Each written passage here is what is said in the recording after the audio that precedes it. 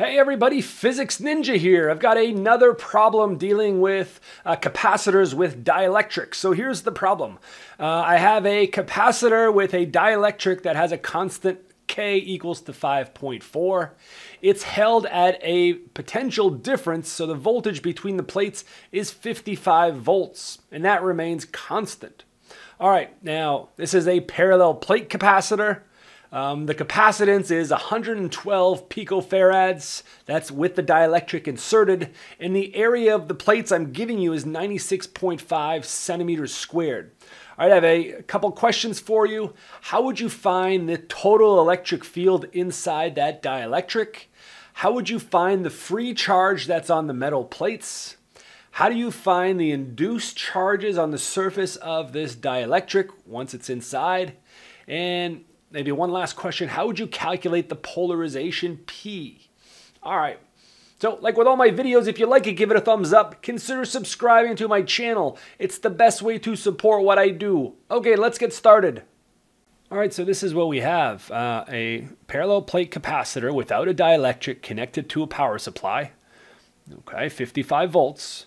I insert a dielectric, shown here on the right-hand side, with a dielectric constant equal to 5.4.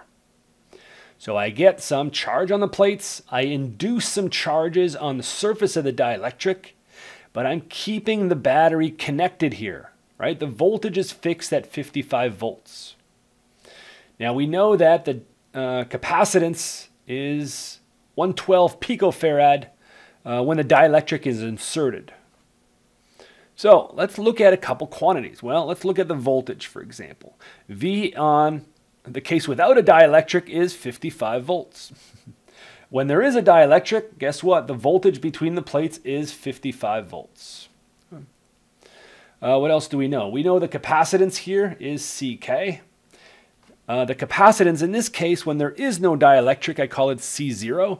Uh, this one you should know, right? It's the value when there's a dielectric divided by that dielectric constant. When you put the dielectric constant uh, inside, when you put the dielectric in, the capacitance always increases. Okay, so this guy here is higher than C0 by a factor of 5.4. So that means this guy here is 112 picofarad divided by 5.4. Uh, this was 20.74 picofarads. All right. Well, let's think about um, our capacitor uh, equation, right? One that relates the charge to the voltage between the plates.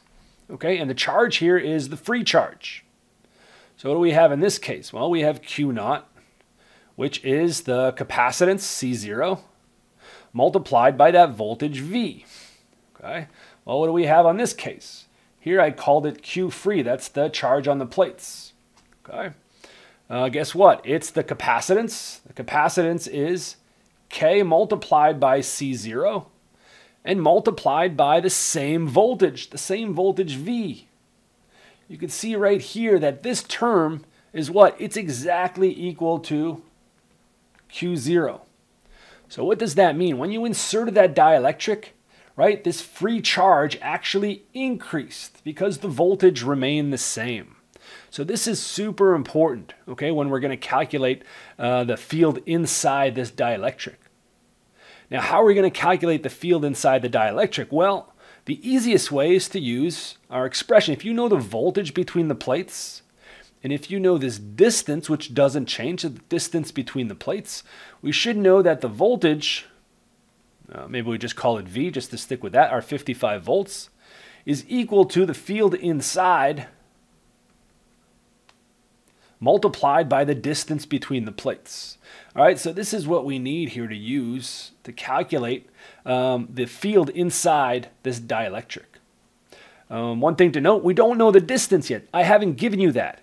However, we could use our values of capacitance in order to find the distance between the plates. So that's what I'm going to do on the next slide. All right, so if I go ahead and I plot E inside here, this is the total field has to be the same as the field on this side. The field doesn't change. Okay. Uh, the way you find that, E inside, use that equation that is boxed in red, is my voltage 55 divided by D. All right, so how do you find D? We're going to use our information for this capacitor. If it's a parallel plate capacitor, the formula for the capacitance of a parallel plate capacitor is the permittivity of free space, the area of the plate divided by the separation of the plates. So right here I can get an expression for D. So let's do some algebra right here. So how would you get D? D here equals epsilon 0, A divided by that capacitance when there's no dielectric constant inside. So now we just go ahead and substitute in my electric field formula. So I have V, and now I just substitute the values for D here. This is epsilon 0, the area of the plate, and multiply C0 up here. Now we substitute in all the values. Okay, so we have 55 volts. We have multiplied by my 20.74. Now that's picofarad, that's 10 to the minus 12. Divided by epsilon 0. Epsilon 0 is the permittivity of free space, just a constant. 8.85 times 10 to the minus 12. And now I have to multiply that by the area. Uh, the area I gave you in the problem. Now careful, it's in centimeters squared. So it's 96.5 times 10 to the minus 4 meters squared. All right, you put that in the calculator, and you should get a value that um, look like uh, 13,400 uh, volts per meter. Okay, so there's our first problem, how to find the field inside uh, the dielectric, or the total electric field. All right, second problem is pretty straightforward. We ask for the free charge here, right? Once the dielectric is inserted, well, this is what? It's simply the capacitance, CK, multiplied by the voltage, right? And that voltage is fixed. It's the capacitance that increased. So guess what? All you have then is my 112 picofarad times 10 to the minus 12 multiplied by the 55 volts and you get the charge on the plates is approximately equal to 6.16 times 10 to the minus 9 coulomb. Right, so you can write this as 6.16 um, nanocoulomb. Let's fix that. All right, so that's the free charge on the plates. Okay, that's the second part of the problem. All right, question three says, how do you find the induced charges here at the surface of this dielectric? Uh, for that, I'm going to use the electric field, okay? My electric field produced by a parallel plate, if you remember, is the charge density divided by epsilon zero. Okay, uh, so let's try to use that here and compare the case with no dielectric to the case with a dielectric. So when there's no dielectric, we know that the field is E inside. Okay. And that I would simply write as the charge density. The surface charge density is what? In this case over here, it's Q0 divided by the area. That's my sigma and epsilon 0. How would I do it on this side? Well, let's think about it. So what is the total charge here at this surface? Well, it's Q free. And again, you're going to have some induced charges that are going to reduce that. So it's minus Q induced. That's basically what I'm looking for here. Again, I have to divide now by epsilon 0 multiplied by A, the same area. So we can simplify this a little bit. Now remember what we said, we also had another expression that my free charge was related to the charge Q naught uh, without a dielectric. And this was the relationship right here. So we have here our two equations, okay? We're just going to combine them.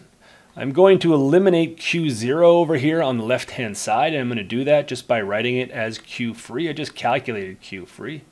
So get rid of this Q naught is just Q free divided by the dielectric constant.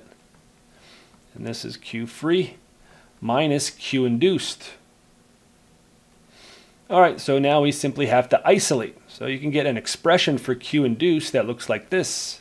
You factor it, bring this on the other side, bring this over here, do about a week's worth of algebra, and you get 1 minus 1 over K multiplied by Q free. All right, now you simply substitute our values. So you have 1 minus 1 over 5.4, right? And Q free we just calculated uh, that was 6.16. I'll just write it as nanocoulomb right here. So you carry out this uh, multiplication and you get, again, it's going to be a little bit less in magnitude than the 6.16. So I get uh, 5.02 uh, nanocoulomb. Okay, so that's the induced uh, surface charges here uh, at the surface of that dielectric. All right, how do you find the magnitude of the polarization P for this problem? So let's go ahead and plot what it looks like first of all. First of all, the polarization P goes from negative to positive, okay? That's a convention that's picked. Now remember, the polarization P is related to the induced electric field. The induced electric field goes from positive to negative, right? That's the convention for electric fields. So this is E induced. It's induced by those induced charges here at the surface of the dielectric. Forget about the free charges for this problem. Okay? So the relationship, you can see those vectors are in the opposite direction, but here we're simply looking for the magnitude. Okay? My expression is simply this, okay? That E induced at the, you know, E induced produced by those induced charges at the surface of the dielectric is minus the polarization here divided by epsilon zero. Okay, the definition. So E induced again. Now let's just worry about the magnitude. So don't have to worry about that negative sign anymore. Uh, this here is simply going to be that the magnitude of the polarization is going to be epsilon zero multiplied by the magnitude of the induced electric field. And again, that's just treat it like a parallel plate.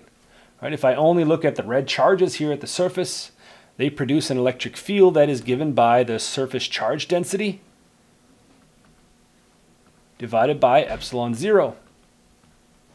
So all you need to do is the magnitude of the polarization is actually equal to the induced surface charge density.